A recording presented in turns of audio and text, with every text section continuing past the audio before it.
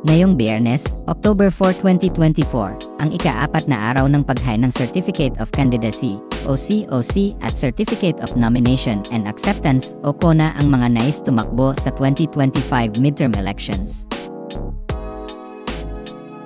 Kabilang ang ilang celebrities at content creators sa mga nagsumite ng kani-kanilang mga kandidatura. Nakapanayam ng ilang entertainment press ang aktor na si Rob Gomez sa isang ambush interview sa isang event kamakailan lang. Doon ay tinanong ng Inquirer ang aktor kung open nga ba siyang tumakbo at magkaroon ng pwesto sa gobyerno.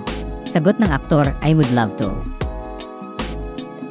Paliwanag niya, tinitingala niya ang kanyang pamilya ng mga politiko at umaasa siyang maging katulad nila balang araw. Anya, I look up highly to my family because of what they did. Through this naman din sila, di ba? Before show business, nagpolitics. They're great with people, obviously. That's why they reached what they reached. I just hope to be there one day beside their names. To be worthy of my name. Sinabi rin ni Rob sa naturang panayam na umaasa siyang balang araw ay sasabak din siya sa mundo ng politika. Anya, I hope it will be me one day. I'm good and great with people. Besides how everybody sees me right now, so much more people love me and believe in me, I think. Si Rob Gomez ay miyembro ng pamilyang Ejercito.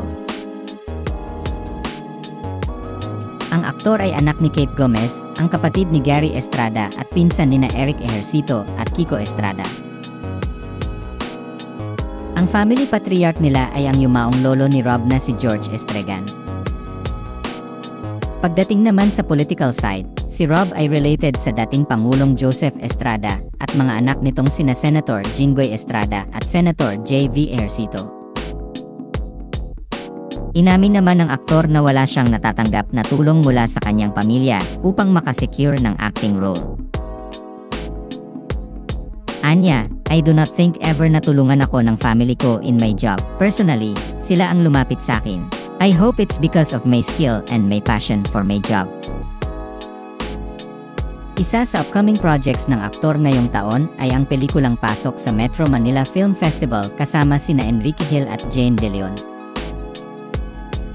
Ayon sa ulat ng bandera, nabanggit ni Rob na may isa pa siyang pelikula sa GMA Network at series with HBO.